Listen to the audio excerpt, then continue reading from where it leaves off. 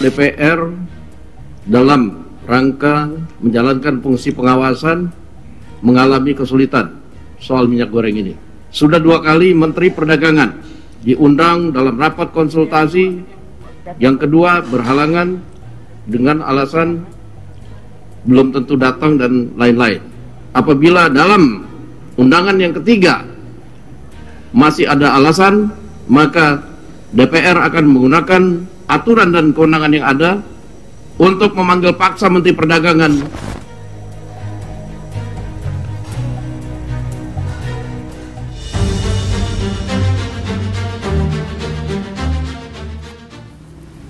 Assalamualaikum warahmatullahi wabarakatuh. Teman-teman, jumpa lagi dengan Enjoy Channel. Channel yang membahas berita teraktual, terhangat, dan sedang menjadi perbincangan publik Sahabat Enjoy Channel, kali ini yang akan kita bahas mengenai minyak goreng Minyak goreng adalah kebutuhan ibu-ibu rumah tangga yang hari-hari ini menjadi masalah karena langkanya minyak goreng dan juga harganya cukup mahal Apalagi saat ini teman-teman menjelang akan datang bulan Ramadan. Tentunya kebutuhan minyak goreng ini semakin banyak. Namun di pasaran ini kelangkaan minyak goreng terjadi di mana-mana. Bahkan kalau kita lihat di beberapa media buahnya antrian ibu-ibu terutama ini mengantri untuk membeli minyak goreng.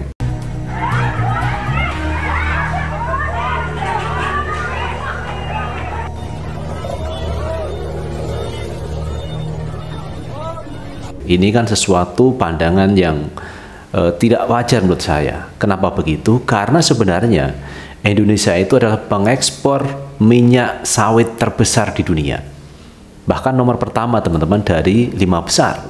Yang pertama itu Indonesia, kedua Malaysia, ketiga Thailand, Kolombia, dan Nigeria. Indonesia adalah nomor pertama. Itu kalau kita lihat datanya di tahun 2020. Indonesia pengekspor minyak uh, goreng terbesar di dunia. Bahkan kalau kita lihat teman-teman, uh, yang diekspor di tahun 2020 itu mencapai 37,3 juta ton dengan share market globalnya itu 55 persen. Tetapi kalau kita lihat di Malaysia teman-teman, Malaysia itu uh, mengekspor di tahun 2020 itu 19,3 juta ton dengan share market globalnya itu adalah 30%. Jadi kalau kita melihat seperti itu, terjadi kelangkaan minyak goreng di tanah air ini sesuatu yang aneh menurut saya. Kenapa? Karena Indonesia produsen minyak sawit terbesar di dunia. Dan bahkan kalau kita lihat lahan-lahan luas di Kalimantan itu banyak ditanami kelapa sawit. Sehingga sangat tidak mungkin kalau Indonesia itu terjadi kelangkaan minyak goreng karena Indonesia produsen memproduksi minyak goreng, tetapi ini menjadi langka. Karena itu teman-teman, kemarin pada hari Rabu Presiden Jokowi menggelar rapat mengenai minyak goreng. Dan banyak para netizen itu supaya Jokowi memecat Menteri Perdagangan karena tidak bisa mengelola perdagangan dalam negeri terutama menyangkut minyak goreng. Belum lagi masalah kedelai yang ini produksinya untuk digunakan tempe tahu ini juga menjadi masalah. Nah, karena itu eh, Presiden Jokowi memang harus fokus dalam hal ini karena ini menjelang akan terjadi bulan Ramadan. Tentu kebutuhan minyak goreng akan besar. Nah, teman-teman, untuk lebih jelasnya coba kita baca beritanya. Kita ambil berita teman-teman dari suara.com. Jokowi gelar rapat soal minyak goreng. Warganet rewel minta menteri ini dipecat. Ini memang harusnya seperti teman-teman, menteri yang tidak bisa bekerja, tidak sesuai dengan ekspektasi di bidangnya tentu harus diberhentikan karena tidak mampu. Karena minyak goreng ini sudah beberapa bulan ini menjadi masalah, tetapi belum ada progres yang positif, apalagi ini mendekati bulan Ramadan. Ini e, menjadi sesuatu yang tidak nyaman tentunya bagi masyarakat Indonesia yang seharusnya minyak goreng ini didapatkan dengan mudah ini menjadi malah sulit. Presiden Joko Widodo atau Jokowi akhirnya menggelar rapat untuk membahas kelangkaan minyak goreng. Hal ini rupanya membuat warganet ramai-ramai menyarankan sang presiden untuk memecat sosok menteri itu. Melansir dari hop.id, jaringan suara.com, Presiden Jokowi membagikan kegiatan rapat kelangkaan minyak goreng. Melalui akun Instagramnya, Jokowi menjelaskan rapat ini untuk membahas ketersediaan minyak goreng di Indonesia. Hari ini saya menggelar rapat terbatas untuk membahas hal-hal terkait ketersediaan minyak goreng di tanah air, tulis Jokowi dalam akunnya. Rapat yang diadakan setelah Jokowi selesai acara di titik nol IKN ini banyak dikomentari warganet. Banyak warganet yang memberi saran dan mendukung Jokowi untuk memecat menteri yang dianggap tidak bisa bekerja. Gak mencat-mencat orang kemendak yang kecolongan itu, tulis akun @tisat. Ganti menterinya pak, kakak bisa kerja tuh menteri, saut akun @omco. Sudahlah Pak Presiden, mendak Anda yang sekarang ini memang tidak cakap dalam bekerja. Masih banyak yang lebih mampu dan siap bekerja serius. Tulis akun @leban. Sudah ganti Pak memperindakmu. Bocor ke luar negeri malah nu nuduh emak-emak nimbun. Tulis akun @diajeng. Wow.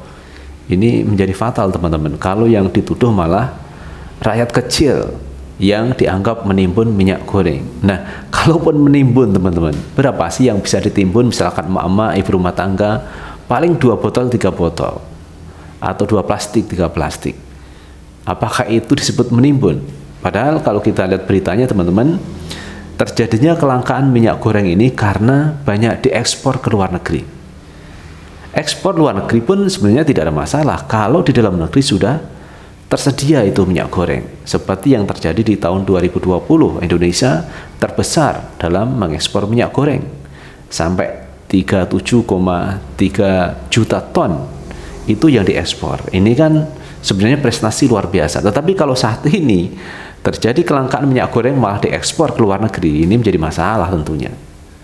Ini lahan di Kalimantan ini luas sekali digunakan untuk menanam sawit, kemudian produksi sawit itu tetap, tetapi terjadi kelangkaan. Ini kan sesuatu yang aneh. Berarti intinya adalah e, produksi minyak goreng ini mungkin ada benarnya teman-teman diekspor ke luar negeri. Selain permintaan Jokowi untuk memecat menteri karena dianggap tidak mampu bekerja dan gagal, warganet juga banyak berkomentar tentang kelangkaan minyak. Mereka tidak mempermasalahkan subsidi atau lainnya, tapi soal kelangkaan minyak goreng yang kini stoknya selalu kosong. Harga subsidi tapi barangnya susah pak. Ini minimarket cuma ada harganya aja, barangnya nggak ada. Tulis akun @astisila. Masalahnya minyaknya nggak ada pak. Tulis akun @cupur. Nyatanya ketersediaan itu sangat sulit pak. Ucap akun @titana. Kosong pak D. Tulis akun at Alip Seti. Minyak goreng udah sebulan kosong pak, tulis akun at OM. Waduh, ini teman-teman banyak warganet yang mengeluh terkait kelangkaan minyak goreng. Ada tulisan minyak goreng di minimarket, tetapi barangnya tidak ada. Tulisannya ada, tapi barangnya tidak ada. Ini naib sekali teman-teman. Banyak juga warganet yang berkomentar geram dengan aksi penimbunan di beberapa daerah, tapi hanya yang level kecil. Rapat yang juga dihadiri oleh Kapolri Jenderal Polisi Listio Sigit Prabowo ini juga menginfokan tentang komitmen Polri membantu pemerintah. Kapolri memberikan jaminan langsung atas distribusi dan ketersediaan minyak goreng di masyarakat. Sampai hari ini masih ada daerah yang mengalami kelangkaan minyak goreng dan tingginya harga yang ditawarkan. Di Kalimantan 2 liter 150 ribu Tulis akun Umihani Dalam komentar unggahan foto rapat terbatas Jokowi. Ini teman-teman terkait kelangkaan minyak goreng terjadi di mana-mana. Nah teman-teman terkait minyak goreng ini cukup menarik. Sekali lagi Indonesia produsen minyak goreng Indonesia pengekspor minyak goreng terbesar di dunia. Tetapi terjadi kelangkaan minyak goreng di Indonesia. Ini kan sesuatu yang aneh menurut saya. Bagaimana mungkin terjadi kelangkaan padahal kita itu produksi. Kita itu tanam sendiri kelapa sawitnya. Tetapi yang terjadi kelangkaan minyak goreng. Karena itu teman-teman, pandangan saya Presiden Jokowi harus segera melakukan tindakan terarah dan terukur terkait Menteri Perdagangan. Bisa bekerja atau tidak Menteri Perdagangan ini? Nah, kalau ini sekiranya tetap seperti ini, teman-teman, maka memang perlu ada pergantian terkait Menteri Perdagangan sesuai dengan apa yang disuarakan oleh para warganet. Ganti saja Pak Menteri Perdagangan karena dianggap tidak bisa bekerja. Apalagi teman-teman ini menjelang bulan Ramadan, tentu kebutuhan minyak goreng akan jauh lebih banyak. Nah, sekarang saja belum bulan Ramadan ini sudah terjadi kelangkaan. Bagaimana kalau nanti uh, pada bulan Ramadan? Ini kan menjadi hal yang menyulitkan bagi masyarakat. Karena itu kalau kita melihat kejadian seperti ini teman-teman, kemudian muncul wacana Jokowi tiga periode, wacana penundaan pemilu, ini tidak relevan sekali dengan kondisi yang dialami oleh masyarakat. Kenapa begitu? urusan pemilu, urusan masa jabatan presiden sebenarnya kan sudah diatur dalam undang-undang, sudah ada di dalam konstitusi.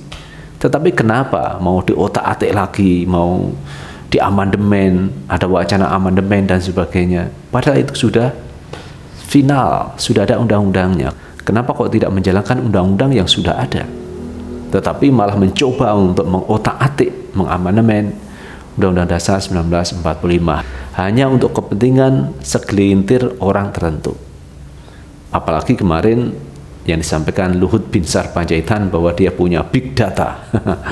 Ada 110 juta percakapan di media sosial itu menginginkan terkait penundaan pemilu dan penambahan masa jabatan presiden. Sesuatu yang irasional menurut saya. Bagaimana mungkin Luhut punya data 110 juta pengguna media sosial? Padahal kalau kita lihat teman-teman, Indonesia itu yang punya akun misalkan YouTube terbesar itu ada uh, Atta Halilintar, Ria Ricis, Deddy Corbuzier. Dalam percakapan di antara tiga orang yang aktif di sosial ini, tidak nyampe itu e, pembicaraan politik itu satu juta tidak ada itu bagaimana mungkin Pak Luhut punya big data 110 juta yang menginginkan terkait penundaan pemilu maupun perpanjangan masa jabatan presiden. Ini yang patut dipertanyakan. Nah ini akan menjadi bumerang kalau big data yang dimaksud oleh Luhut bin Sarpanjaitan itu tidak ada. Nah yang perlu hari ini di tangan pemerintah adalah minyak goreng saja. Tidak usah bicara wacana penundaan pemilu, tidak perlu e, mewacanakan big data, kerjalah sesuai dengan tugas pokok dan fungsinya saja. Kalau Luhut bin Sarpanjaitan menangani masalah COVID, maka selesaikan COVID di Indonesia. Kalau e, tugasnya sebagai Menteri Kemaritiman dan Investasi bicara tentang itu, tidak usah membicarakan politik terkait pemilu, masa jabatan presiden, fokuslah pada pekerjaan Anda. Itu jauh lebih baik. Itu teman-teman yang bisa kita bahas kali ini dan bagaimana menurut pendapat teman-teman sekalian tulis di kolom komentar karena komentar teman-teman akan sangat bermanfaat untuk yang lain. Sukses selalu. Assalamualaikum warahmatullahi wabarakatuh.